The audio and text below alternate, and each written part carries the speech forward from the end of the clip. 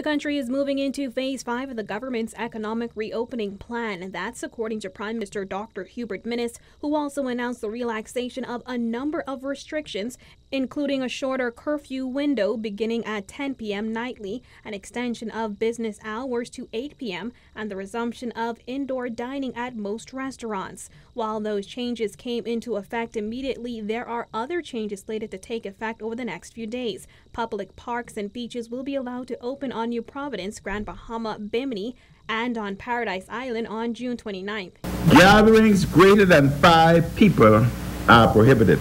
In other words, Mr. Speaker, though the beaches are open, there will be no beach parties. Gyms and spas may reopen on July 1st with the appropriate health and safety protocols approved by the Ministry of Health. As it relates to indoor dining, restaurants may allow indoor dining with a maximum seating capacity based on 50% occupancy. However, vendors at Arawak Cay are still prohibited from using indoor facilities, according to the PM.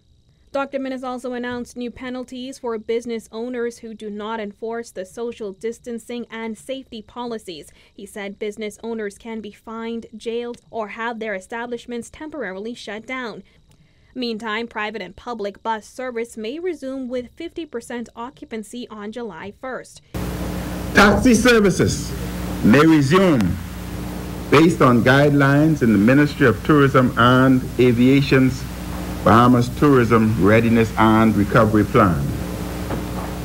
Private and public bus services may resume with 50% occupancy based on guidelines in the Ministry of Tourism's Bahamas Tourism Readiness and Recovery Plan. When it comes to international travel, Minnis said Bahamians and residents are not required to take a COVID 19 test for short travel periods of 72 hours or less. However, he said upon return, a 14 day quarantine may be required based on a determination by the Ministry of Health. Negative COVID 19 tests are required for all visitors entering the country. Tests must be taken within a 10 day window before travel. Reporting for Guardian News Network, I'm Jasmine Brown.